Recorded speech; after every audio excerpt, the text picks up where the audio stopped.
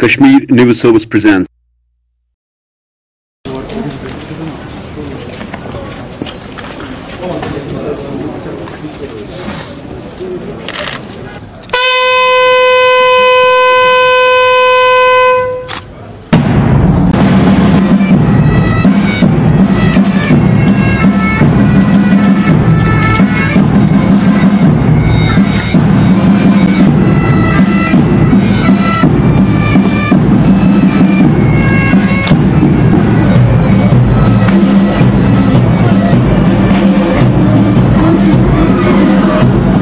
सब जानते हैं आज दोपहर में जब बागा चौक पर हमारे पुलिसकर्मी नॉर्मल रूटीन ड्यूटी कर रहे थे और उसी ड्यूटी के दौरान में बगल वाले शॉप पर कुछ सामान लेने गए थे।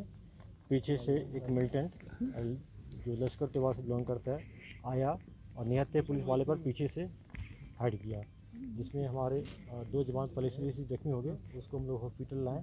आशा के साथ कि डॉक्टर साहब भी बहुत प्रयास किए उनको सर्वाइव कराने के लिए लेकिन दोनों मार्टेड हो गए और ये इंसिडेंट हुआ।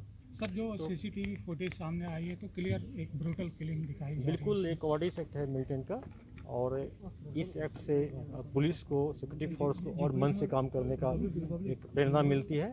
हम लोग और पूरी एनर्जी के साथ करेंगे।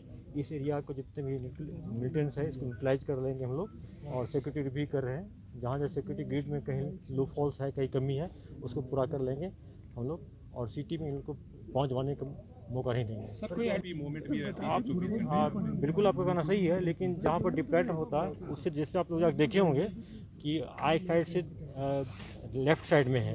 नजरी मिला जहाँ पुलिस खड़ी रहती है उनको दिखाई नहीं पड़ा होगा वहाँ से। दुकान में चले गए थे। हालाँकि अगर हमारे भी पुलिसकर्मी के साथ हथियार उसमें रहता तो ये भी डिटेक्ट कर पाता था। बेचारा उस टाइम निहत्थे थे। और पीछे से अटैक किया। जैसे आप लोग सीसीटीवी कैमरा में देखे होंगे उनको तो पता नहीं चला होगा कि पीछे आया हुआ है मिलिटेंट सर पहचान होगी लश्कर तैयबा का उसमें एक शाकिब है जो बजला के बिलोंग करता है एक एफटी है। और इसको हम लोग बहुत जल्दी न्यूट्रलाइज कर लेंगे। तो वहाँ पे आम नागरिकों का कहना है कि उनका एक बेटा जो है मुदसर अहमद वो निर्दोष है वो बाहर आया था तो मानसिक तौर पर भी वो ठीक नहीं है। उनका ये कहना है परिवार वालों का तो आप इसको कैसे देखोगे? क्योंकि उसको भी अरेस्ट किया गया है फ़िलहाल। किसी को अरेस्ट नहीं किया गया। वहाँ पर जब कॉर्डन सर्च चल रहा था तो वो पूछताछ के लिए बुलाया कि कुछ देखे हो। अरेस्ट किसी को हम लोग नहीं किया। Thanks for watching Kashmir news Service.